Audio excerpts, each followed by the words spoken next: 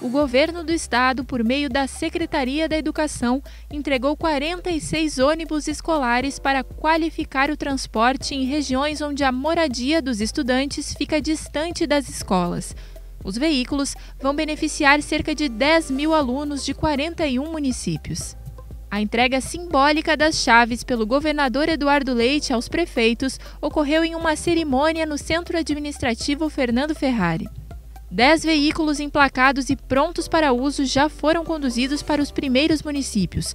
Os outros chegarão nas cidades nos próximos dias.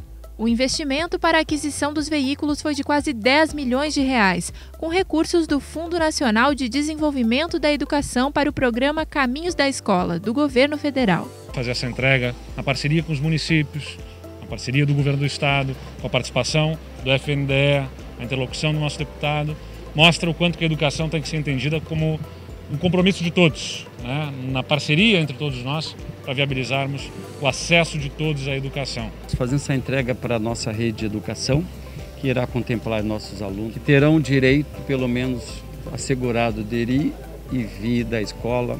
Com segurança. Né? Com segurança. Então, uma satisfação muito grande. Os ônibus são fabricados especialmente para o tráfego em áreas rurais e ribeirinhas. Comportam 44 alunos sentados e têm suspensão reforçada. Também são equipados com uma plataforma para cadeirantes, garantindo a acessibilidade para todos os estudantes. Eles representam uma renovação de frota, segurança e uma garantia de transporte mais seguro. Isso é importante colocar. E uma ajuda também que o Estado, juntamente com o governo federal, aporta a esses municípios, 46 no total, garantindo a esses né, uma continuidade do serviço que o Estado faz e o próprio governo federal faz, onde aporta um recurso na ordem de 160 milhões ano para o transporte de 75, 76 mil alunos.